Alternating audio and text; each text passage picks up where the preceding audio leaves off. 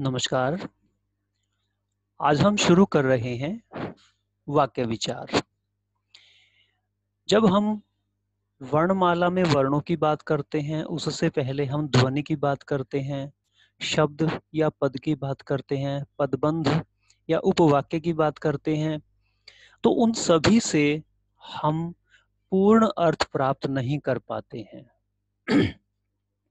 जब अनेक पद मिलकर एक वाक्य का निर्माण करते हैं, तब ही वे अपना पूरा अर्थ देने में सक्षम होते हैं, समर्थ हो पाते हैं।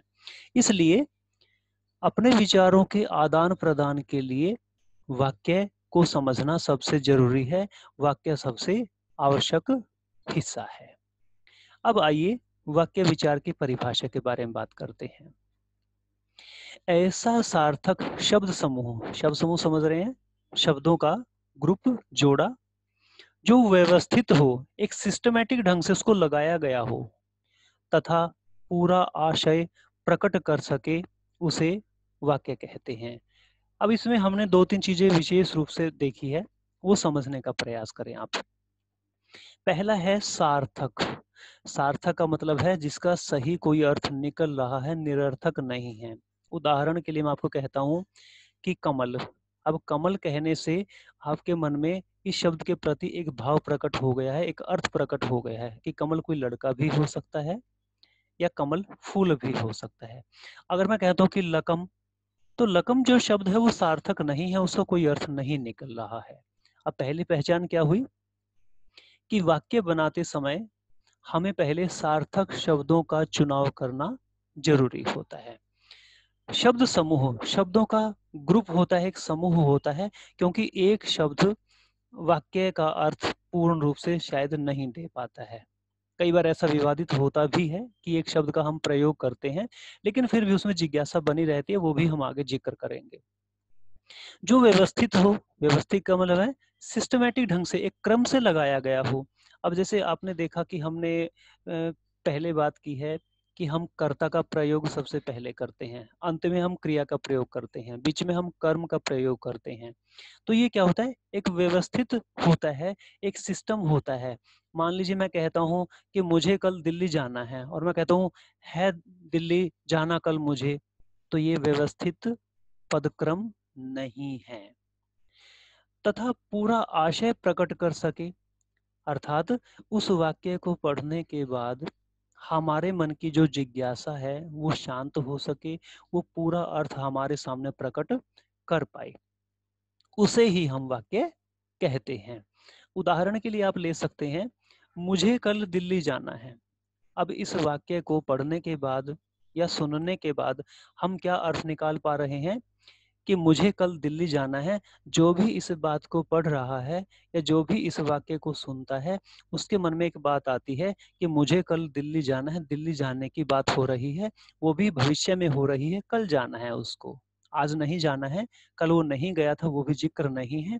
तो आप देख पा रहे हैं किस इस वाक्य के प्रयोग से हमारे सामने पूर्ण अर्थ आ गया है और शब्द भी व्यवस्थित हैं। कैसे पहले कर्ता का प्रयोग है, अंत में क्रिया का प्रयोग है।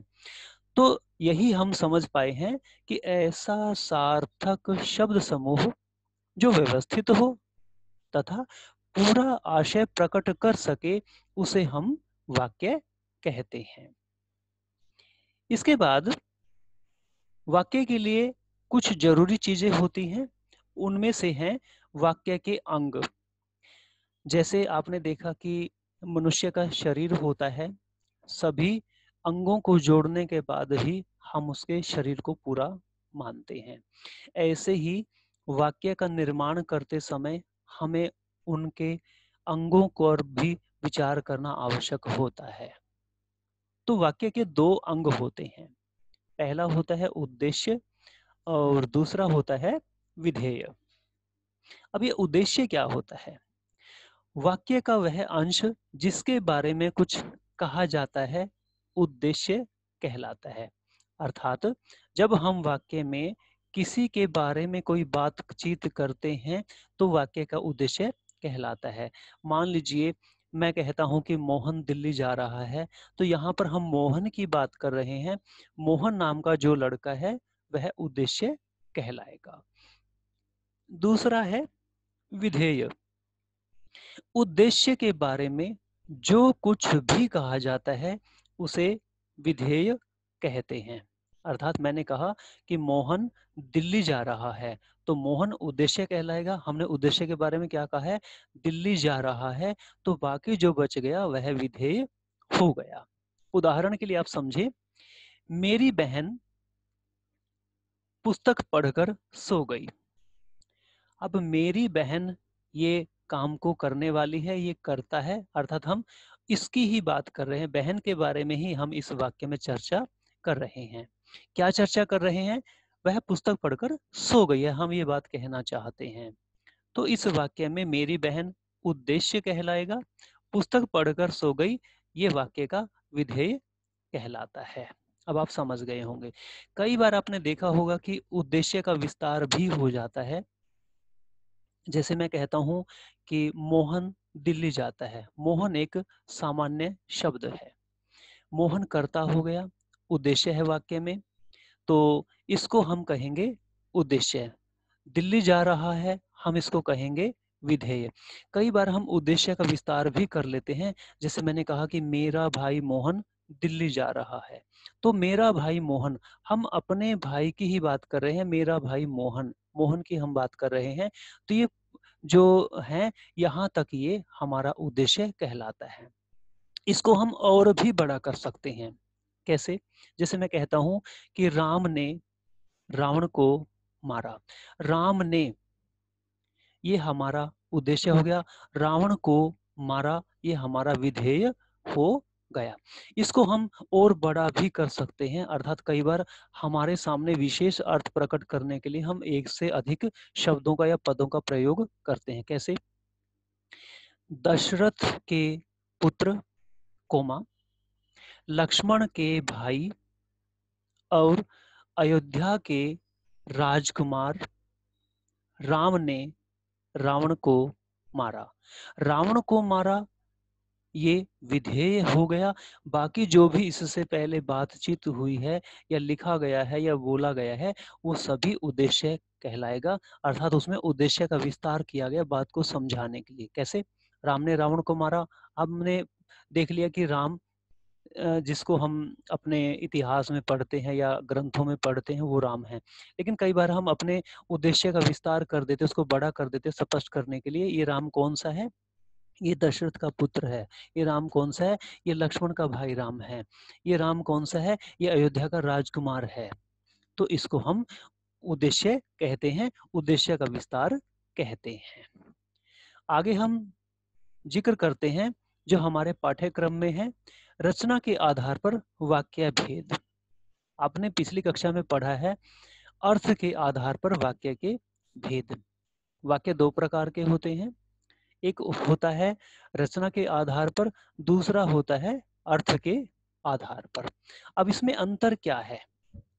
सीधा सा अंतर यही है कि जब हम किसी वाक्य की रचना करते हैं, उसको लिखने की कोशिश करते हैं तो वो तीन ही प्रकार से लिखा जाता है।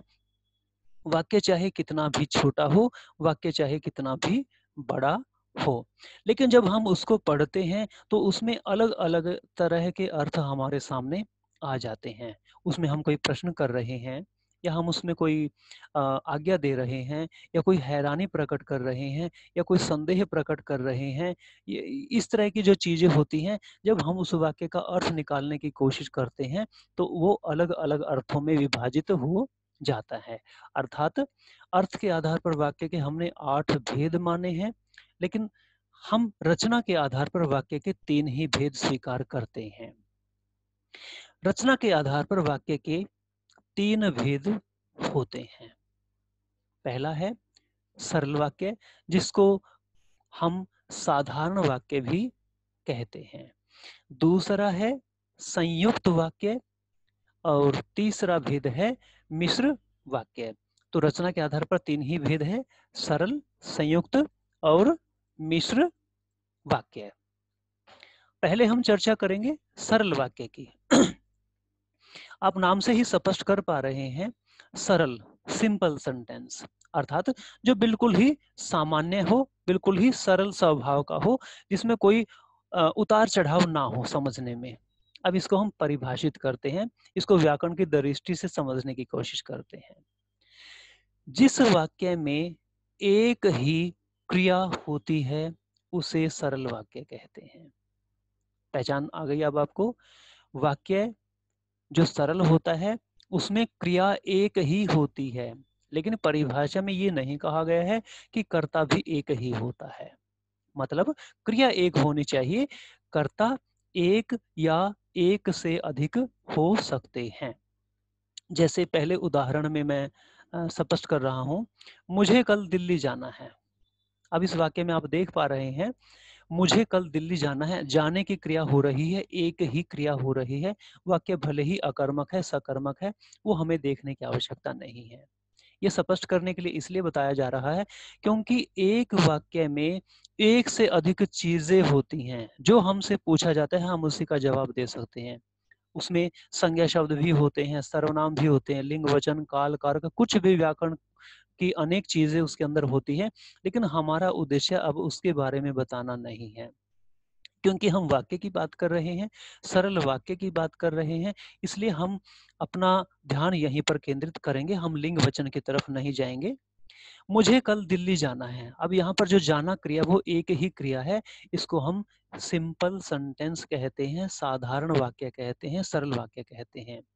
मैंने आपको ज़िक्र किया है कि क्रिया एक होती है क्रिया को करने वाले एक से अधिक हो सकते हैं। जैसे मैं कहता हूँ, हमारी पूरी कक्षा को कल दिल्ली जाना है। अब कक्षा में तीस बच्चे हैं या चालीस बच्चे हैं, वो कल सभी दिल्ली जाएँगे। ये फ्यूचर की बात हो रही है। तो इसमें क्रिया एक है, काम को करने वाले एक से ज़्यादा हो सकते हैं। मेरा भाई मोहन और मेरी बहन कल मेरे साथ दिल्ली जाएँगे। इसमें भी मोहन है आ, मेरी बहन है मैं भी हूँ हम तीनों एक ही क्रिया कर रहे हैं एक ही काम कर रहे हैं इसलिए इसमें सरल वाक्य है क्रिया एक होनी अनिवार्य होती है। दूसरे में देखिए माता जी ने गीता को एक साड़ी दी। क्या दी है? एक साड़ी दी। ये सकर्मक वाला वाक्य है। साड़ी दी देना क्रिया हो रही है, एक से ज़्यादा क्रिया नहीं हो रही है माता जी क्रिया कर रही है, गीता को देने का काम वो कर रही है। तो इस वाक्य में भी आप देख रहे हैं कि एक ही क्रिया होने के कारण यह भी सरल वाक्य है। अगली एक विशेषता है सरल वाक्य की। सरल वाक्य में उपवाक्य नहीं होते, अर्थात ये अपने आप में पूर्ण होता है जहाँ पूर्ण विराम लगता है, उसके बीच में एक ही पूरा वाक्य होता है, बीच में इसके हिस्से नहीं हो सकते। अगर हम हिस्से करने की कोशिश करते हैं, उसको विभाजित करने का प्रयास करते हैं तो ऐसी स्थिति में हम देखते हैं कि अर्थ नहीं निकल पाएगा। जैसे मैं पहले वाक्य को भी लेता हूँ, मुझे कल दिल्ली, मैंने इसको आधे शब्दों का, पदों का प्रयोग आपके सामने किया है। तो आपको लग रहा है कि अर्थ नहीं निकल रहा है। मुझे कल दिल्ली मैंने आगे कुछ भी नहीं कहा है, या मैंने कह दिया कि जाना है, कहाँ जाना है, कब जाना है, क्यों जाना है, किसे जाना है, कोई भी स्पष्ट नहीं है। अर्थात इसमें उपवाक्य नहीं होते हैं, इसमें एक ही मुख्य क्रिया होती है, जैसे जाने की है, देने की है अगले वाक्य में तो इसमें एक ही मुख्य क्रिया होती है जिसका हम ज़िक्र करते हैं। तो अब आप अच्छी प्रकार से समझ गए हैं कि सरल वाक्य हम उसको कहते हैं जिसमें एक ही क्रिया होती है और वह क्रिया अपने आप में मुख्य ही होती है। इसके बाद हम देखते हैं संयुक्त वाक्य को। जैसा कि नाम से ही स्पष्ट कर पा रहे हैं, संयुक्त संयुक्त का मतलब होता है जुड़ा हुआ है जो। अब ये सरल नहीं है, संयुक्त वाक्य है। संयुक्त का मतलब है आपस में जुड़ा हुआ। अब वो जुड़ा हुआ क्या है? वो हमें देखना है, वो हमें समझना है। जहाँ दो या दो से अधिक, दोबारा समझे, जहाँ दो या दो से अधिक उपवाक्य, किसी समानाधिकरण अव्यय अव्यय होता है, अविकारी शब्द होते हैं, जिसको हम चेंज नहीं कर सकते, बदल नहीं सकते हैं। जैसे और, तथा, फिर, या, अथवा, किंतु, लेकिन इसलिए आदि। अब हम इनको क्या कहते हैं? अव्यय। अव्यय का मतलब होता है अविकारी शब्द। आपने देखा कि दो तरह के शब्द होते हैं। एक होता है विकारी, एक होता है अविकारी। अब विकारी का मतलब क्या होता है? जिसमें विकार पैदा हो जाए, अर्थात जो लिंग की वजह से, काल की वजह से, वचन की वजह से बदल जाए। अब जैसे मैं आपके सामने एक एग्ज़ाम्पल दे रहा हूँ, लड़का। लड़का शब्द को हम अगर स्त्रीलिंग बनाए तो लड़की बन जाएगा। बहुवचन करें तो लड़के बन जाएगा। लड़की बना के हम बहुवचन बनाएँ तो लड़कियाँ बन जाएगा। तो जो लड़का शब्द है, वह विकारी है। उसमें व्यय हो रहा है, कुछ खर्च हो रहा है, कुछ चेंज हो रहा है, उसको हम कहेंगे विकारी शब्द। अव्यय अव्यय में, व्यय शब्द में हमने अ उपसर्ग लगा दिया, ऐसा करने से ये उसका विलोम बन गया। अर्थात जो कभी चेंज नहीं होता है, चाहे कोई भी लिंग हो, चाहे कोई भी वचन हो, चाहे वो निर्जीव पदार्थ के साथ हम उसको प्रयोग कर पा रहे हैं या सजीव के साथ कर पा रहे हैं। अब यही बात जो मैंने अभी आपको बताई है, जैसे अव्यय शब्द होते हैं, दूसरा है व्यय, अर्थात विकारी और अविकारी। विकारी में आप देखेंगे शक्ति। भगवान में शक्ति होती है, देवताओं में शक्तियाँ होती है। हमने क्या किया? वचन उसको बदल दिया तो शक्ति का शक्तियाँ हो गया, वो है विकारी शब्द। अब देखिए इन शब्दों को, और तथा। जब भी हम इन शब्दों का प्रयोग करते हैं, ये कभी बदलते नहीं हैं। चाहे किसी काल में प्रयोग कर लें, किसी भी वचन में हम प्रयोग कर लें, ये हमेशा एक ही स्थिति में हमारे सामने बने रहते हैं। जैसे, राम और श्याम खेल रहे हैं। सीता और गीता खेल रही हैं। हमने लिंग बदला, नहीं बदला और शब्द। और का हमने स्त्रीलिंग में और का और ही नहीं किया, ये जो का त्यों रहा। तथा का हमने तथी नहीं किया, क्योंकि इसको हम बदल नहीं सकते। ये सामान्य रूप में ऐसे ही प्रयोग होते हैं। इसीलिए हम इनको अव्यय कहते हैं, अर्थात ये चेंज नहीं होते, अपना रूप कभी नहीं बदलते हैं। अब परिभाषा को दोबारा देखें। जहाँ दो या दो से अधिक, दो भी हो सकते हैं, दो से अधिक भी हो सकते हैं। उपवाक्य, वाक्य का छोटा हिस्सा। वाक्य पूर्ण कब होता है? जब पूर्ण विराम लग जाता है। उससे पहले की बात हो रही है। किसी समानाधिकरण अव्यय, समानाधिकरण जो समान अधिकार वाले हैं, जो इक्वल चीज़ों को जोड़ने का काम करता है, कोई छोटी बड़ी नहीं है। के साथ जुड़े होते हैं, वहाँ संयुक्त वाक्य होता है। कैसे? जैसे, काम किया है, इसलिए पैसे तो मांगूँगा ही। काम किया है, जैसे, अब इसमें कर्ता का प्रयोग नहीं हुआ, हम अपनी तरफ़ से कर्ता का प्रयोग कर सकते हैं। जैसे, मैंने काम किया है पूर्णराम तो इतना कहने से बात पूरी हो गई है, लेकिन इसमें पूर्णराम नहीं लगा है, अर्थात ये वाक्य पूर्ण अब तक नहीं है। मैंने काम किया है, इसलिए मैं पैसे तो मांगूँगा ही। मैं पैसे तो मांगूँगा। ये वाक्य दूसरा बन गया। अर्थात मैंने काम किया है, हम कर्ता का अपनी तरफ़ से प्रयोग कर रहे हैं। इसलिए मैं पैसे मांगूँगा ही, मैं पैसे मांगूँगा ही। तो ये दो उपवाक्य है, वा, उपवाक्य का मतलब है छोटा वाक्य वाक्य का पूरा हुआ? मांगूँगा ही के बाद हमने पूर्ण विराम का प्रयोग जब किया, तब वह वाक्य पूरा हो गया है। तो काम किया है पैसे तो मांगूँगा ही, ये दो उपवाक्य है जिसको हमने इसलिए समानाधिकरण अव्यय के साथ जोड़ दिया है, क्योंकि इसलिए शब्द भी किसी भी लिंग वचन काल कारक के अनुसार कभी चेंज नहीं होता है।